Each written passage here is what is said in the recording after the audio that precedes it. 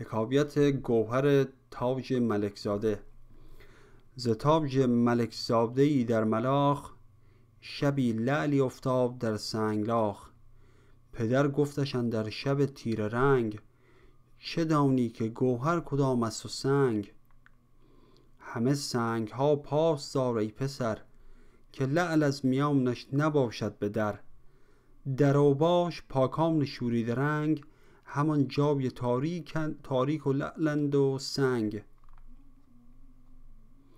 چو پاکیزه نفسان و صاحب دلان برآمیختستند با جاهلان به رغبت بکش بار هر جاهلی که افتی به سر وقت صاحب دلی.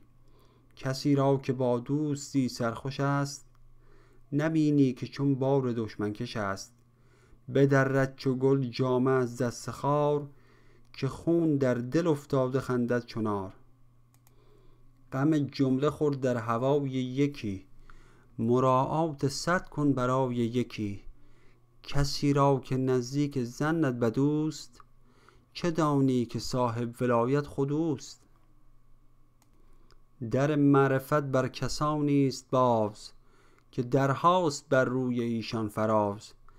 بسا تلخ ایشان و تلخی چشان که آیند در حله دامن کشان ببوسی گرت عقل و تدبیر هست ملک زاده را در نواخانه دست که روزی برون آید از شهر بند. بلندید بخشد چو گردد بلند.